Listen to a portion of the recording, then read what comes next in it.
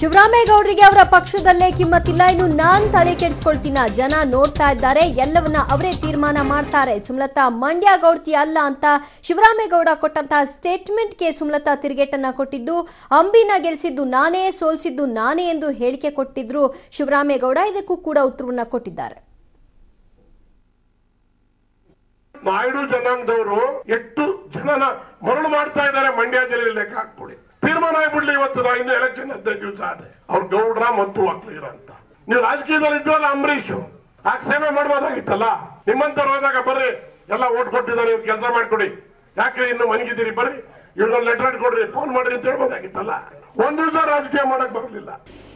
ಈಗ ಜನ ತೀರ್ಮಾನಿಸ್ತಾರೆ ಬಿಡಿ. ಯಾರು ಇರ್ತಾರೆ, ಯಾರನ್ನು ಓಡಿಸ್ತಾರೆ, ಅದು ಜನ ತೀರ್ಮಾನಿಸ್ತಾರೆ, ಅವ್ರಿಗೂ ಗೊತ್ತಾಗುತ್ತೆ ಅದು. ಅವ್ರ ಮಾತಿಗೆ ನಾನು ಬೆಲೆ ಕೊಡೋಕೆ ಇಷ್ಟ ಇಲ್ಲ ಅದನ್ನ ಅವ್ರ ಪಕ್ಷನೇ ಅವ್ರಿಗೆ ಎಂ ಪಿ ಸೀಟ್ ಕೊಡಲಿಲ್ವಲ್ಲ? ಬರೀ ಮೂರು ತಿಂಗಳಿಗಷ್ಟೇ ಎಂ ಪಿನ ಮಾಡಿ ಕಿತ್ತು ಬಿಸಾಕಿ ಅವ್ರ ಮಗನಿಗೆ ಕೊಟ್ಟಿದ್ದಾರೆ. ಸೊ ಅವರ ಪಕ್ಷದಲ್ಲೇ ಅವ್ರಿಗೆ ಏನು ಬೆಲೆ ಅಂತ ಎಲ್ಲರೂ ಗೊತ್ತಿರೋ ವಿಚಾರ ಇದು. ಈ ಬಗ್ಗೆ ಹೆಚ್ಚಿನ ಡೀಟೇಲ್ಸ್ ಕೊಡ್ತಾರೆ ನಮ್ಮ ಪ್ರತಿನಿಧಿ ಸುಖಪಾಲ್. ಸುಖಪಾಲ್, ಸುಮಲತಾ ಮಂಡ್ಯ ಗೌಡ್ತಿ ಅಲ್ಲ ಅಂತ ಶಿವರಾಮೇಗೌಡ ಕೊಟ್ಟಂತಹ ಸ್ಟೇಟ್ಮೆಂಟ್ಗೆ ಮತ್ತು ಅಂಬಿನ ಗೆಲ್ಸಿದ್ದು ನಾನೇ, ಸೋಲ್ಸಿದ್ದು ನಾನೇ ಅಂದಿದ್ದಕ್ಕೆ ಸುಮಲತಾ ಏನು ಹೇಳಿದ್ರು?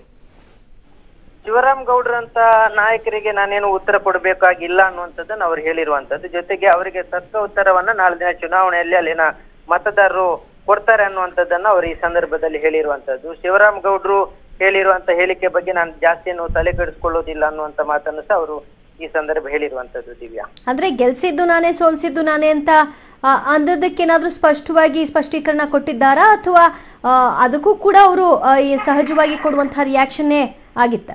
ಹೌದು ಅವರು ಸಹಜವಾಗಿ ಹೇಳಿರುವಂತದ್ದು ಅದು ಇಬ್ಬರನ್ನ ಸೋಲಿಸಿರುವಂತದ್ದು ಯಾರು ಅನ್ನುವಂಥದ್ದು ಅಲ್ಲಿನ ಜನತೆಗೆ ಗೊತ್ತಿದೆ. ಮತ್ತೆ ಈ ಚುನಾವಣೆಯ ಬಳಿಕ ಯಾರು ಅಲ್ಲಿಂದ ಓಡು ಹೋಗೋರು ಅನ್ನುವಂಥದ್ದು ಸಹ ಮತ್ತೆ ನಿರ್ಧಾರ ಆಗುತ್ತೆ. ಚುನಾವಣೆಯ ಬಳಿಕ ಗೊತ್ತಾಗುತ್ತೆ ಶಿವರಾಮ್ ಗೌಡ್ರ ಬಣ ಓಡ್ತದ ಅಥವಾ ನಾವು ಓಡ್ತೇವೆ ಅನ್ನುವಂಥದ್ದು ಆ ಸಂದರ್ಭದಲ್ಲಿ ಗೊತ್ತಾಗುತ್ತೆ ಅನ್ನುವಂಥದ್ದನ್ನ ಅವರು ಸುಮಲತನ್ ಅವರು ಹೇಳಿರುವಂತದ್ದು ದಿವ್ಯಾ.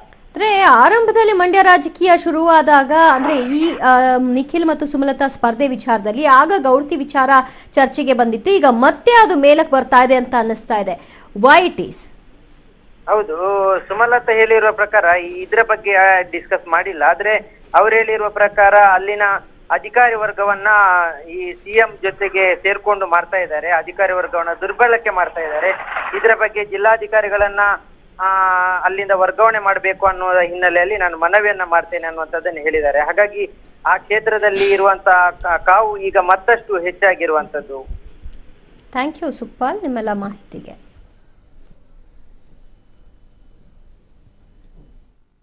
ನಾಯ್ಡು ಜನಾಂಗದವರು ಎಷ್ಟು ಜನನ ಮರಳು ಮಾಡ್ತಾ ಇದ್ದಾರೆ ಮಂಡ್ಯ ಜಿಲ್ಲೆಯಲ್ಲಿ ಲೆಕ್ಕ ಹಾಕ್ಬಿಡಿ ತೀರ್ಮಾನ ಆಗ್ಬಿಡ್ಲಿ ಇವತ್ತು ನಾ ಇನ್ನು ಎಲೆಕ್ಷನ್ ಹದಿನೈದು ದಿವಸ ಆದ್ರೆ. ಅವ್ರ ಗೌಡ್ರ ಮತ್ತು ಒಕ್ಕಲಿಗರ ಅಂತ. ನೀವು ರಾಜಕೀಯದಲ್ಲಿ ಇದ್ರಲ್ಲ ಅಂಬರೀಷ್. ಆಗ ಸೇವೆ ಮಾಡ್ಬೋದಾಗಿತ್ತಲ್ಲ? ನಿಮ್ಮಂತವ್ರು ಹೋದಾಗ ಬರ್ರಿ, ಎಲ್ಲ ಓಟ್ ಕೊಟ್ಟಿದ್ದಾರೆ, ಇವ್ರು ಕೆಲಸ ಮಾಡ್ಕೊಡಿ. ಯಾಕ್ರಿ ಇನ್ನು ಮನಗಿದ್ದೀರಿ? ಬರ್ರಿ ಇವ್ರನ್ನ ಲೆಟರ್ ಕೊಡ್ರಿ ಫೋನ್ ಮಾಡ್ರಿ ಅಂತ ಹೇಳ್ಬೋದಾಗಿತ್ತಲ್ಲ? ಒಂದು ದಿವಸ ರಾಜಕೀಯ ಮಾಡಕ್ ಬರಲಿಲ್ಲ.